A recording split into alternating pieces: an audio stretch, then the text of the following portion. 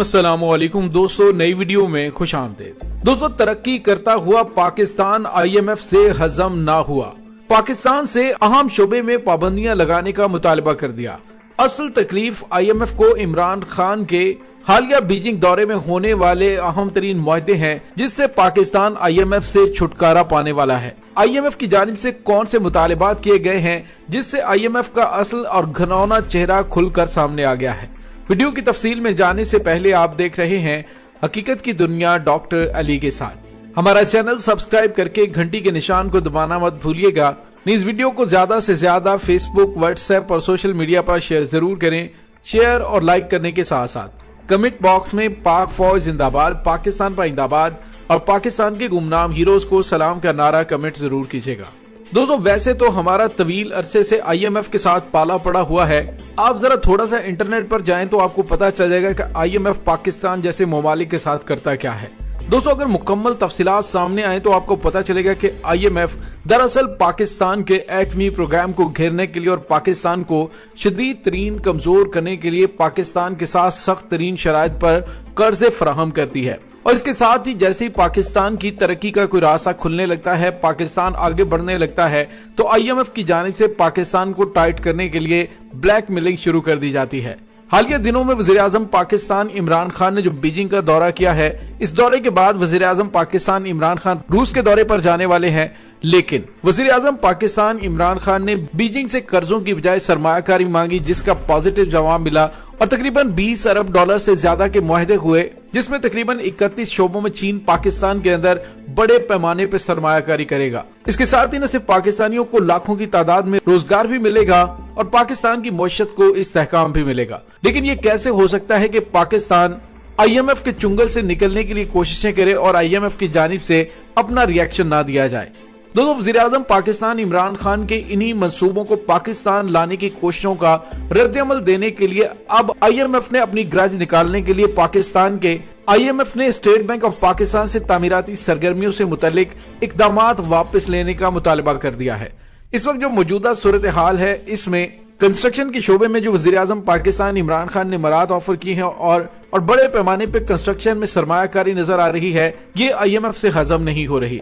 IMF ने बैंकों के हाउसिंग कर्जे के अहदाफ माली इस्तेकाम के लिए खतरा पैदा करने के मुतरद करार दिया। और कहा कि इससे क्रेडिट की गलत तकसीम होगी। आई एम एफ़ ने स्टेट बैंक ऑफ़ पाकिस्तान से तामीराती सरगर्मियों से मुतल इकदाम वापस लेने का मुतालबा कर दिया है। आलमी मालियाती इदारे ने स्टेट बैंक से हाउसिंग और तामीराती सरगर्मियों के फरोग के लिए उठाए जाने वाले दो अहम तरीन इकदाम से पीछे हटने का मुतालबा किया है। जुलाई सन 2020 में स्टेट बैंक ने बैंकों के लिए लाजमी करार दिया था कि वो दिसंबर 2021 तक हाउसिंग और तामीराती शोबों के लिए दिए जाने वाले कर्जों में अपना हिस्सा पाँच फ़ीसद तक बढ़ाए। स्टेट बैंक ने जून दो हज़ार इक्कीस में कैपिटल अडियोक्सी रेगुलेशन को भी तब्दील किया ताकि रियल एस्टेट इन्वेस्टमेंट ट्रस्ट में बैंकों की सरमाकारी को दरपेश रिस्क 200 फ़ीसद से कम करके 100 फ़ीसद तक लाया जा सके। दोस्तों आईएमएफ की जानब से दोबारा शुरू किए गए कर्ज प्रोग्राम के तहत एक अरब डॉलर की किस्त के साथ ही जारी की गई। जारी की गई स्टाफ रिपोर्ट में कहा गया है कि आईएमएफ ने स्टेट बैंक को ताकीद की है कि वो माली इस्तेकाम के खदशे के बायस उन इकदाम को खत्म करे। रिपोर्ट में यह भी कहा गया कि बैंकों के हाउसिंग कर्जे के अहदाफ माली इस्तेकाम के लिए खतरा पैदा कर सकते हैं और क्रेडिट की गलत तकसीम का सबब बन सकते हैं। दोस्तों, असल तकलीफ़ ये है कि पाकिस्तान के अंदर कोई भी शोबा तरक्की करने लगता है तो आईएमएफ के पेट में दर्द शुरू हो जाता है। हमारी ये बदकिस्मती समझ लीजिए कि जब से पाकिस्तान मार्ज वजूद में आया है, हमारी मीशत का पहिया सही तौर पर नहीं चल सका।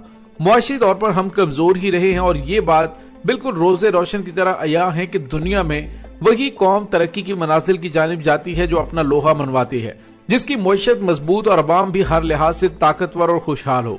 और ऐसे ममालिक दुनिया को अपने तरीके से चलाते हैं, लेकिन हमारी मजबूरी रही है कि हम शुरू से ही गुलामी का शिकार हुए और आज़ादी, जिसे बहुत कुर्बानियों के एवज हासिल किया गया था, गुलामी के शिकंजे में कस दिया। हमारे सियासतदान सरमायादाराना निज़ाम के जाल में फंस गए, जिसकी वजह से हर आने वाला दिन हमें मजीद पस्ती की तरफ़ धकेलता चला गया। दोस्तों, आईएमएफ भी एक सरमायादाराना निज़ाम का शाखसाना है। इसका अपना तरीका कार है, ये देखते हैं कि दुनिया में किस मुल्क की मीशत कमज़ोर है फिर उसे कर्जा देकर अपना गुलाम बना लेते हैं। और फिर एक वक्त आता है कि वो मुल्क मुकम्मल तौर पर उनके जाल में फंस जाता है।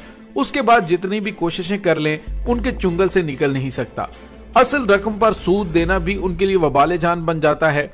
पाकिस्तान की मौजूदा सूरत हाल भी ऐसी है। पाकिस्तान को आईएमएफ ने कर्जा देकर इस कदर मफलूज कर दिया है कि अब इसकी मीशत बगैर कर्जे के चलने से कासिर है। अब नौबत यहाँ तक आ गई है कि हम कर्ज पर सूद की रकम अदा करने के लिए मजीद कर्ज लेना पड़ रहा है और कर्ज देने वाला अपनी कड़ी शराय पर हमें कर्ज दे रहा है। जिसमें आपने देखा कि सऊदी अरब ने भी पाकिस्तान की मजबूरी का फ़ायदा उठाते हुए एक तो शराय सूद ज़्यादा ली और स्टेट बैंक में से पैसे रखवाने के लिए जो कि पाकिस्तान इस्तेमाल भी नहीं कर सकता, शर्मनाक शराय आयद की।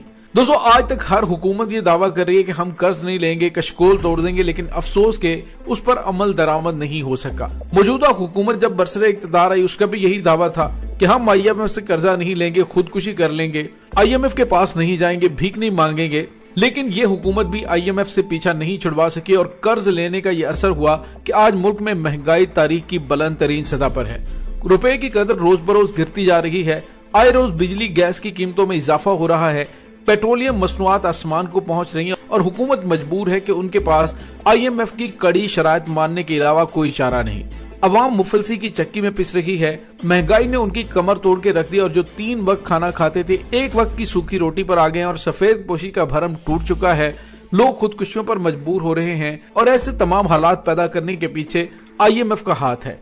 और आईएमएफ ने देखा कि पाकिस्तान के अंदर कंस्ट्रक्शन डिपार्टमेंट तरक्की कर रहा है तो फौरी तौर पर पेश कसने के लिए स्टेट बैंक ऑफ़ पाकिस्तान से मुतालबा किया कि वो अपने दो अहम तरीन इकदाम को वापस ले।